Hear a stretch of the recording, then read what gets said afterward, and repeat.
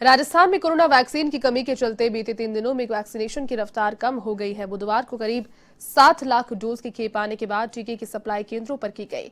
Supply के बाद प्रदेश में वैक्सीनेशन ने फिर से रफ्तार पकड़ी है। राजस्थान में अब तक 25 लाख से अधिक लोगों को कोरोना का टीका लगाया जा चुका है। देश के करीब 25 फ़ीसदी वैक्सीनेशन राजस्थान में ही हो रहे हैं। टीका लगाने के लिए बड़ी संख्या में बुज़ुर्ग और 45 साल से अधिक उम्र के गंभीर बीमारियों से पीड़ित लोग टीका लगाने पहुँच रहे हैं, जो खुद वैक्सीन लगवाने के बाद अन्य लोगों से भी वैक्सीनेशन करवाने की अपील कर रही है।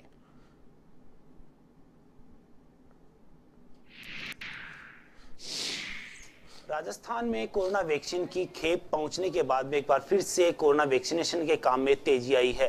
निजी अस्पतालों में भी कोरोना वैक्सीन पहुँच रही है।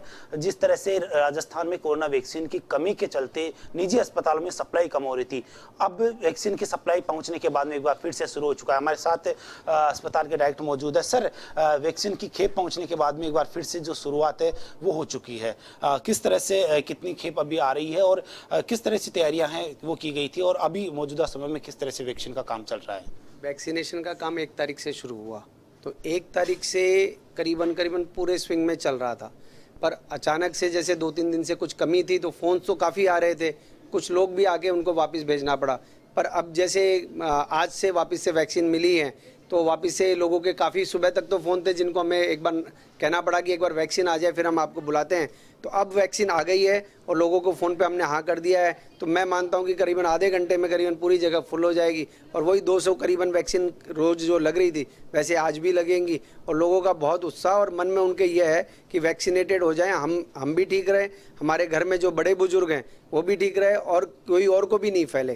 तो लोगों के मन में एक भय भी है कि साहब ये वापिस से फैल रहा है तो लोग बड़े मतलब उत्सुक हैं इसको तुरंत लगवाने के लिए। सर किस एज वर्ग के लोगों को अभी वैक्सीन लगाने का काम किया जा रहा है? किस तरह की व्यवस्था है वो की गई है? साठ साल से ऊपर वाले में तो सभी को लगाया जा रहा है। पैंतालीस से साल साठ साल में कोमॉर्बिडिटी वालों को लगाया जा रहा है और हेल्थ वर्कर्स जो फ्रंटलाइन वर्कर्स हैं उनके लिए सबको लगाया जा रहा है। जिस तरह से सर ने बताया कि निजी अस्पतालों में जो वैक्सीन का काम है, वो लगातार चल रहा है। अभी हम निजी अस्पताल की जो वैक्सीन सेंटर पर मौजूद है, आपको तस्वीरों में हम दिखाना चाहेंगे किस तरह की व्यवस्था की गई है, वेटिंग एरिया बनाया गया है।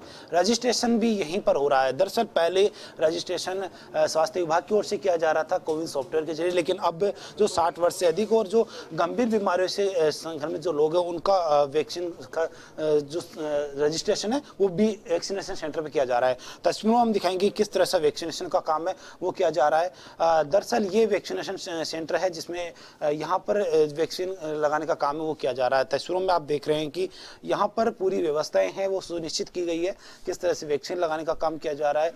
ये जो अभी वैक्सीन जिनको लगाई जा रही है जो गंभीर बीमारियों में शामिल है, पैंतालीस वर्ष से अधिक उम्र इनकी है, जिनको ये वैक्सीन लगाने का काम अभी किया जा रहा है।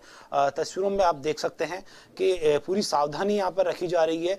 और जिस तरह से राजस्थान में देश भर के मुकाबले बात करें तो 25 फ़ीसदी जो वैक्सीन का जहाँ टीकाकरण हो रहा है वो राजस्थान में हो रहा है। राजस्थान सरकार की ओर से भी लगातार प्रयास किया जा रहा है जा रहा है कि अधिक से अधिक लोग कोरोना का टीका लगाएँ और कोरोना संक्रमण से अपने आप को बचाएँ। और इसी को लेकर राजस्थान एक ऐसा राज्य है जहाँ पच्चीस फ़ीसदी जो देश के मुकाबले पच्चीस फ़ीसदी जो टीकाकरण हो रहा है वो राजस्थान में हो रहा है। वैक्सीन की खेप आने के बाद में फिर से उसी रफ्तार से राजस्थान में टीकाकरण टीकाकरण का अभियान है, शुरू हो चुका है। जयपुर से कैमरामैन नमीचंद पांचाल के साथ मैं Lokesh Ola A one TV